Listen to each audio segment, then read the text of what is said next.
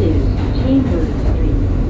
Transfer is available to the 4, 5, and 6 trains.